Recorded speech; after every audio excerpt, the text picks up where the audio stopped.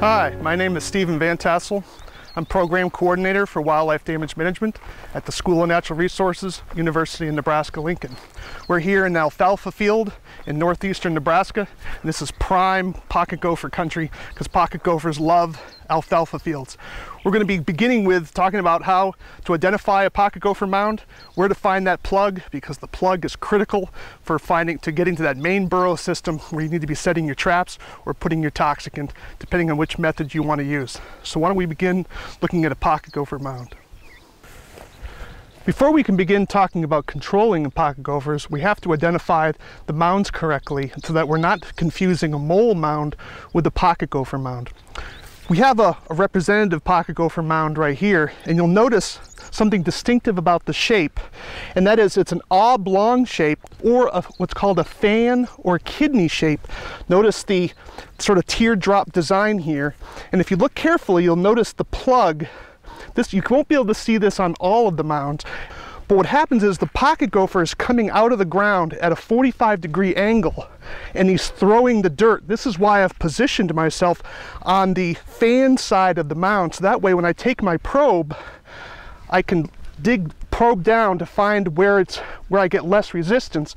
And that's where the pocket gopher's tunnel is. And you can see how my uh, screwdriver here slides very quickly. If you don't have a screwdriver such as this, this is probably a 12 inch screwdriver, you can buy other probes like this and simply probe around to find where you get down to that main to that main tunnel. But I want you to be sure that you understand how a pocket gopher mound works. Is that one side of the mound is going to have a lot more soil than the other. And the reason is the pocket gopher doesn't throw dirt behind himself. He only pushes it out this particular way. So when we're trying to identify where that lateral tunnel is, we'd want to make sure we position ourselves on the flat on the larger side and then probe this way to find that spot where we get less resistance. And you just keep probing till you find where that hole where that hole is. There it is. There's our hole. This is called the lateral tunnel. And we dig that out till we get down to the main tunnel. And that may be down 12 to 14 inches, depending on the soil conditions in your area. And you keep digging until you find the main tunnel. And the main tunnel is going to branch off in two directions. Because of the other mounds here, I'm expecting the main run to be somewhere in here. Now that we have the lateral tunnel opened down to the main tunnel, which is located here, we have two options to control these pocket gophers. One of them is with traps, of course, or we have the option of using toxicants. I'm going to begin talking about setting a trap here. And again, this is for trapping the lateral, the lateral tunnel. So this is a DK1. I'm going to take this trap, set it here quickly. Notice I have a wire cable. Do not use string because pocket gophers that are trapped can chew through that. It has to be a wire cable. And then we take the, bend the wire around. So now we have it set. It's not sort of configured yet because I got to move the trigger back to it's just about ready to let the let the dog go. This piece here is called a dog. Now my trap is set. I put it down tines first.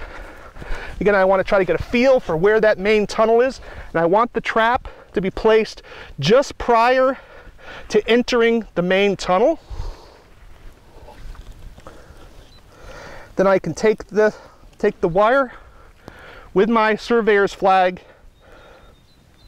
and secure it down. Now, some of you may have heard that we need to cover this hole.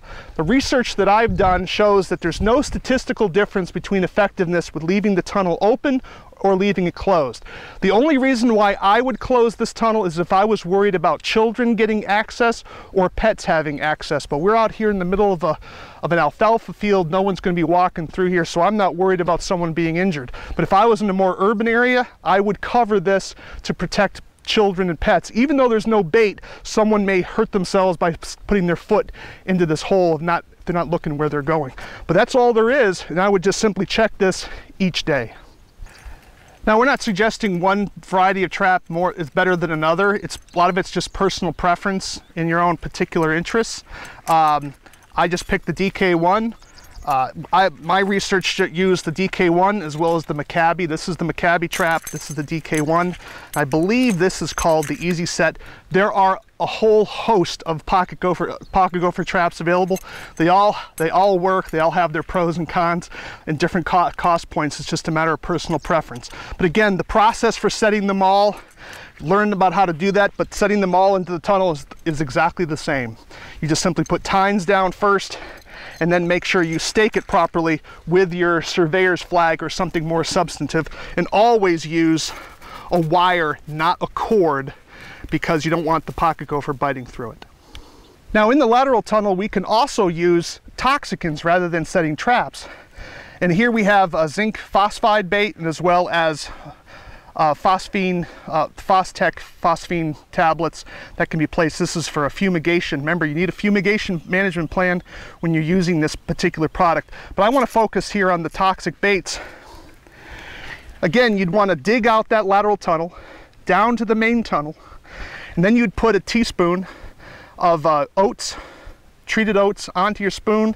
You would take that down into the main tunnel, put it, pour it over, and then you would close the burrow, making sure that you don't cover the oats. That's critical because if you bury the bait, the pocket gopher won't be able to find it. You would also want to make sure you're doing this during a time when the soil is dry and you're not anticipating any rain in, the next several days. Zinc phosphide is moisture sensitive, and so if you're worried about moisture in your cropland, you'd want to go to one of the anticoagulant baits that's available. I believe it's diphacinone. Uh, is available for controlling pocket gophers, or it might be chlorphacinone. But you'd want to go with a uh, waxed waxed bait for the pocket gopher rather than using zinc phosphide if moisture is a concern in your area. We talked about putting traps and bait down the lateral tunnel to the main tunnel. Now we're going to do a different, show you a different process of what's called hand baiting going to the main tunnel directly. Now the key to finding the main tunnel is to recognize how pocket gophers build their tunnel systems. As we said before, the lateral tunnel comes off at a 45 degree angle from the main tunnel. So you'll notice a mound here and a mound here. These are crushed by tire tracks because they recently mowed today, but we know that the main tunnel's got to be in between these. So if we probe down with our narrow end, this has a narrow end and a fatter end, we go down the narrow end, see how it dropped? That shows you we made the main, we found the main tunnel. Then we'd flip it over, widen it out, and then we take our spoon with toxicant, pour it down into the hole, then kick it shut. That's basically all you do. You just keep doing that according to the label and you'd put that fresh. Make sure you watch when you're using zinc phosphide, make sure the soil is dry, that you're not expecting rain anytime soon. You'll notice I'm wearing the nitrile gloves this time. The reason is because I'd be in closer proximity to the poison using this particular technique than I was using the lateral tunnels but I didn't, the label did not require me to have nitrile gloves when I was using a spoon, but I'm wearing them now just to sort of remind you that some of your labels will require you to wear nitrile gloves when using that particular toxicant.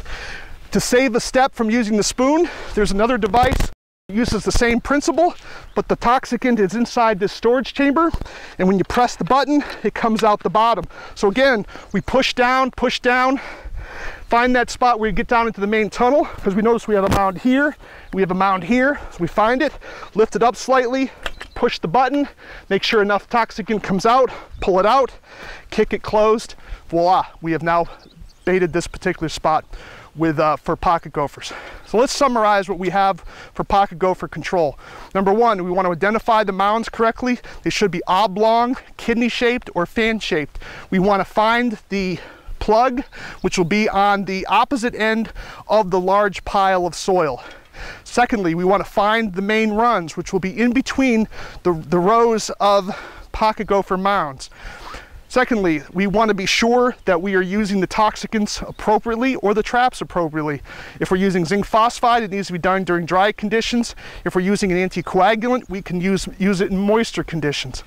There's also, if we're using uh, fumigants, such as phostoxin, we want to make sure we're using our ha have our fumigation management plan established prior to our using the particular poison.